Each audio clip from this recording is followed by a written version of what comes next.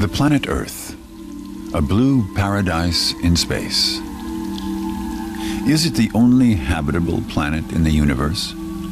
Or are there other places, somewhere out there, where life could be possible? It's a question that's long interested scientists and has become a key field of research. Scientists in Potsdam are studying planets that we already know exist. They want to know whether they could support life. Looking for planets outside our solar system that might be habitable is complex for a number of reasons. The problem with discovering extrasolar planets is that the light of the central star outshines the light of the planet. When you look at the sky, all you see is the stars, not their planets, which may well exist.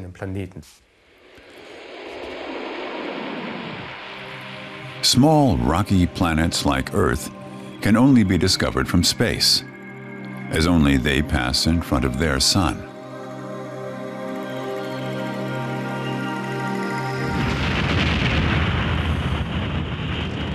That's why the U.S. space agency NASA sent the Kepler Space Telescope into space.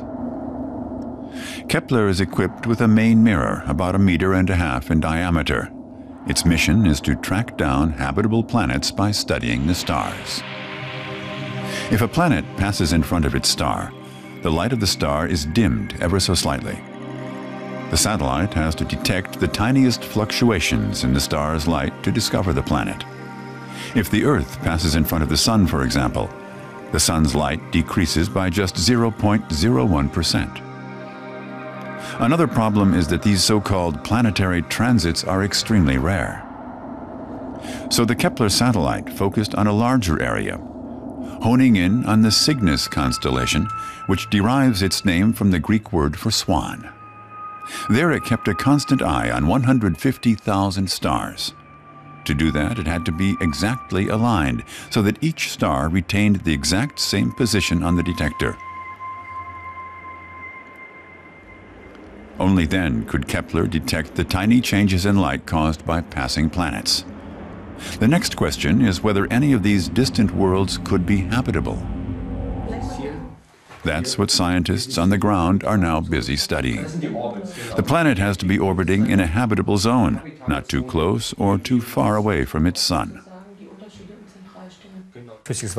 Water in liquid form is necessary for life on Earth, for example, so if the temperature on another planet is somewhere between 0 and 100 degrees centigrade, then liquid water could be there, which would be positive for the development of life. But Kepler won't be finding a second planet Earth.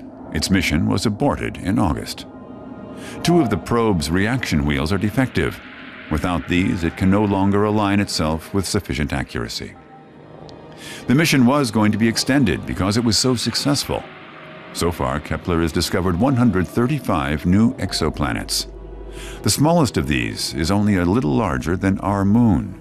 That's tiny. But Kepler's most spectacular discovery was a planetary system that appears to be very similar to our own. It has two Earth-like planets orbiting in the habitable zone, making them the most promising candidates in the search for exoplanets that could support life. There are now thought to be many more such planets than previously thought. Based on Kepler's discoveries, we can estimate that there are maybe 50 billion planets in the Milky Way, of which 500 million could be habitable.